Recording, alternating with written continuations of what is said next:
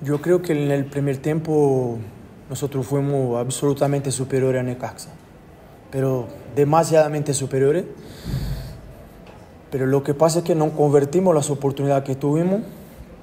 Para mí es un error el penal, un error arbitral, porque Saucedo está mirando la pelota, levanta la pierna, pero el jugador viene de atrás. Saucedo no tenía como mirarlo y el jugador también como que abaja la cabeza.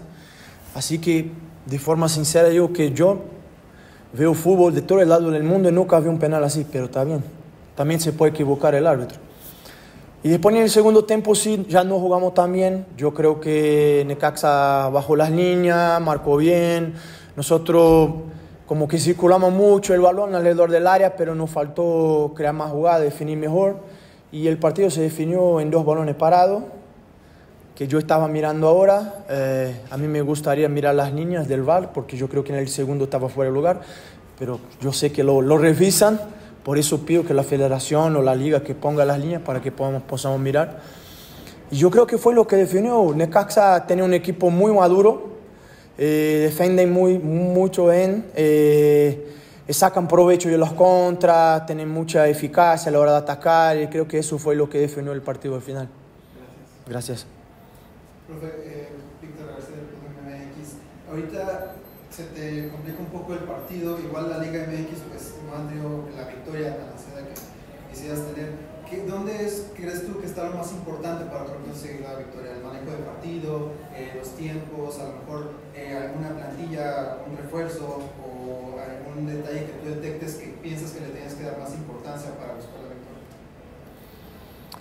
Mira, yo creo que Desafortunadamente nosotros estamos cometiendo errores en dos puntos cruciales, que es la área defensiva, porque estamos regalando oportunidades eh, muy claras dentro del área, especialmente a balón parado, y en la área ofensiva porque estamos teniendo las oportunidades pero no estamos siendo eficaces, ¿no? Y eso siempre te cobra un precio al final.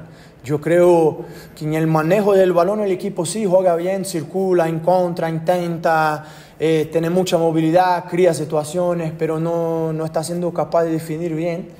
Eh, desafortunadamente es algo que, que, el entrenador no tiene un botón que lo aprieta y las cosas van. Yo creo que hay que seguir eh, buscando ese tipo de rendimiento, especialmente en el primer tiempo, no del segundo pero buscarse más eficaces y acceder menos oportunidades eh, atrás.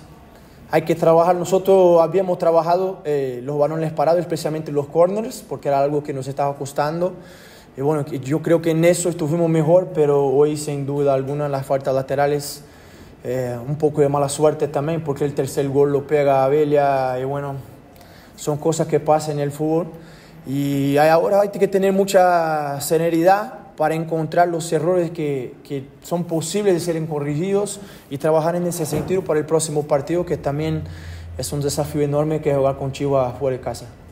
Gracias. Profe, buenas noches. Alejandro Medina, quiero tener deporte silbatazo inicial.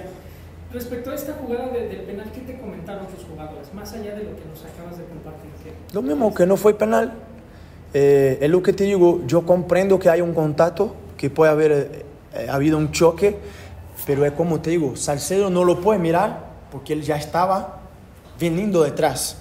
A mí yo no te sé si se estaba fuera de lugar o no, pero está viniendo. Salcedo va a pegar la pelota y accidentalmente lo puede pegar, pero el jugador abaja la cabeza.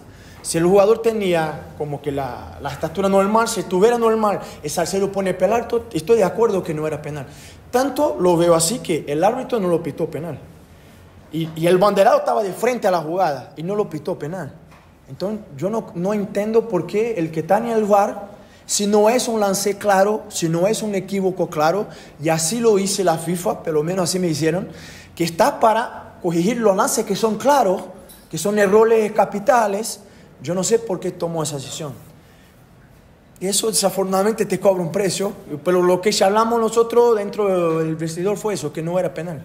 ¿Consideras que fue por ahí un tiro libre e indirecto a lo mucho? A lo mucho tal vez, a lo mucho tal vez, sí, yo creo que sí, pero ya está, no hay como volver atrás. Ahora, hay aspectos técnicos con tu equipo que lo acabas de manifestar, ahora, ¿cómo también trabajar el aspecto anímico?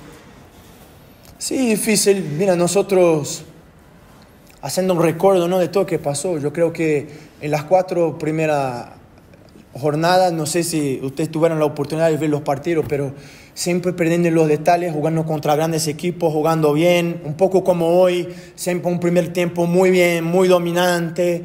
Eh, con Pumas salimos adelante, con América salimos por delante, y siempre en los detalles nos estaban eh, costando las victorias. Y creo que, que fuimos a la League Cup, hicimos un grandísimo partido con Dallas, con San Luis, con Colorado, un poco como que lo pasó con hoy, que empezamos muy bien, empezamos muy bien, pero no terminamos de definir las jugadas y en los detalles, en, en los, los errores, acabamos pagando el precio. Bueno, la expectativa que teníamos, tanto yo como el equipo, los jugadores, era que tuviéramos sobrepasado esa fase, ¿no? Que consiguiéramos ser un poco más, como te dice, eficientes adelante y cometer menos errores atrás, pero yo creo que desafortunadamente no fue lo que pasó. Yo de forma sincera digo que no veo el equipo mal, lo veo el equipo compitiendo bien, y compitiendo con cualquier otro equipo, pero ahí está la diferencia, en la eficacia, en no cometer tantos errores, en no regalar tantas oportunidades claras, porque eso, a eso siempre se paga un precio complicado. Gracias. ¿Alguna pregunta?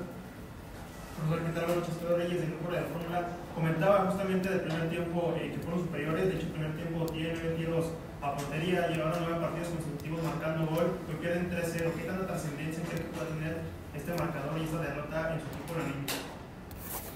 Sí, yo creo que tenemos que tener mucho cuidado en ese aspecto. Eh, y tener mucha sabiduría para, para diferenciar lo que es el marcador final de lo que produció el equipo, ¿no? Seguramente cuando uno mira 3-0 piensa que el otro adversario ha sido muy superior, no fue lo que pasó.